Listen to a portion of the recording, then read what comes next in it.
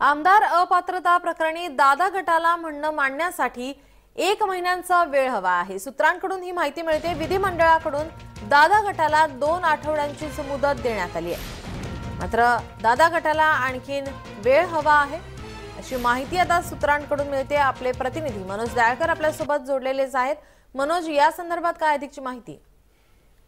नक्कीच निलम. आपण बघितल्यानंतर शिवसेनेनंतर आता राष्ट्रवादी पक्षामध्ये दोन गट झाले आहेत. एक अजित पवार गट आणि दुसरा ताई गट.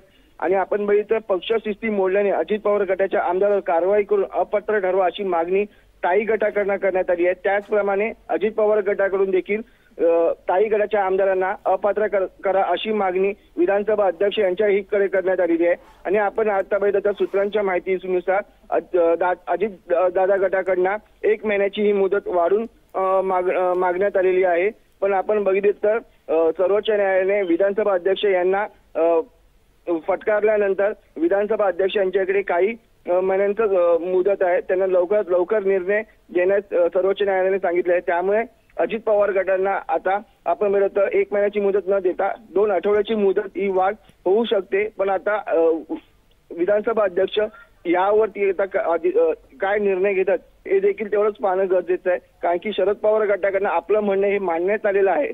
पण अजित पवार गटाकडनं अद्यापही आपलं म्हणणं मांडण्यात आलेलं नाही आहे. आणि आपण बघितलं तर आता अजित पवार गटाकडनं एक महिन्याची मुदत ही वाढ मागून माग- मागितली जात आहे. पण अजित पवारांना आता विधानसभा अध्यक्ष दोन आठवड्याची मुदत देतात की किती दिवसाची मुदत देतात? आणि या संदर्भात देखील विधानसभा अध्यक्ष काय निर्णय घेतात? हे देखील तेवढंच मानणं गरजेचं आहे. नीलम. मनोज याचे अपडेट आम्ही तुमच्याकडून घेतच राहू. तुम्ही आमच्यासोबत असेच जोडलेले राहा.